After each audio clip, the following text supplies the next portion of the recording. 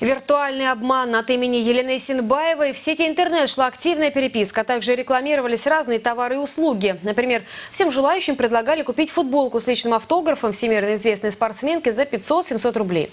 При этом сама легкоатлетка не имела к этому никакого отношения. Волгоградские полицейские установили, кто является создателем так называемой фейк-страницы или страницы подделки.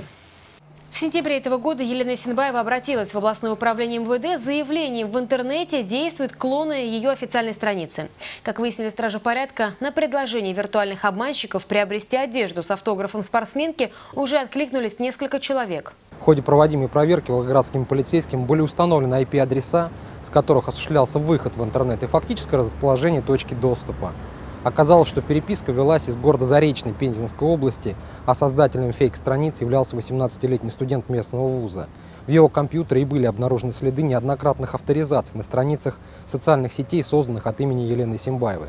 Как пояснил полицейским сам молодой человек, общаясь в сети от имени Синбаева, он действовал исключительно шутки ради. Все страницы дублера в настоящее время удалены. К слову, за создание подобных виртуальных подделок в российском законодательстве никакой ответственности не предусмотрено.